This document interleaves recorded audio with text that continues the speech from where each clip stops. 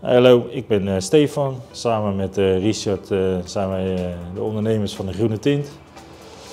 En ons team, de Groene Tint, verzorgen wij dagelijks alle processen die hier gebeuren, waarvan Martine verkoop binnendienst doet.